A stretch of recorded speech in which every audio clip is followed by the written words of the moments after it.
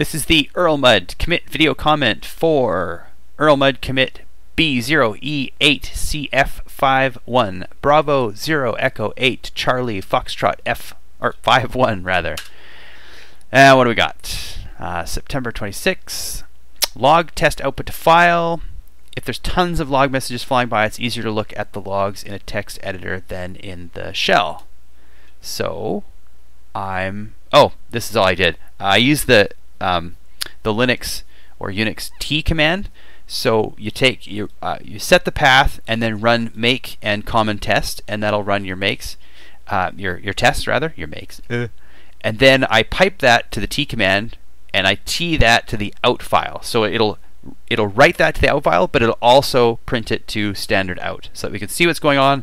But then if there's tons of log output, and there shouldn't be now, um, at this at uh, uh, it's the 29th today of September 2015.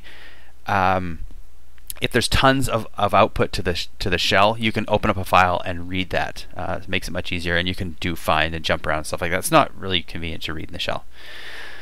So that is the Erlmud commit video comment for commit B0E8CF51 Bravo 0 Echo 8 Charlie Foxtrot 5 1.